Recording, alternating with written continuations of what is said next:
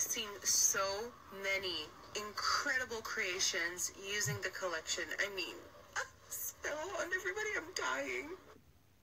Like, hello, are we seeing Coven? I love how everyone, like literally everyone, is blinding in Everglow. Ugh.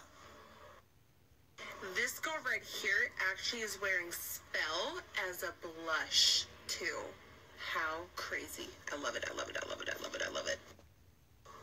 If you're liking her eyeshadow, that is Coven. Isn't that inc- it's, it's crazy? It's crazy. I love your creativity, and I want to thank you for all the support. Porn. This is porn. Admit it. It is porn. You are having some type of feelings in you right now.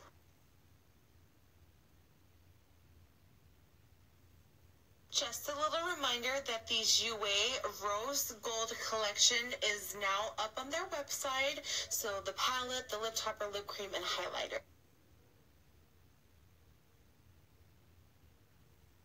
So right here we got the new Rose Gold lip topper and Rose Gold lip cream.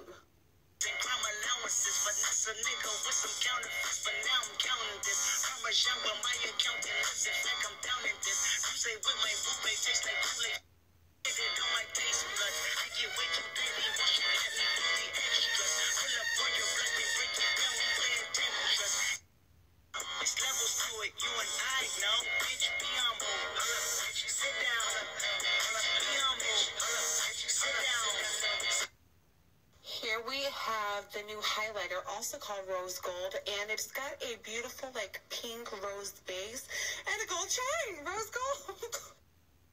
now being dead serious with you, at first I thought this wasn't really for me, but I love the duochrome of it. It's beautiful and a softer look. And then here we have the eyeshadow palette. This cranberry shade is one of my favorites. The palette is unreal.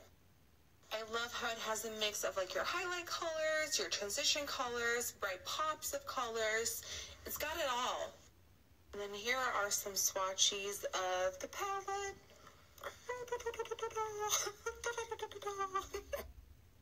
Now I know you guys will be asking me for must-haves. If you're getting one thing, lip topper. Two things, lip topper, eyeshadow palette, then highlight, then lip cream.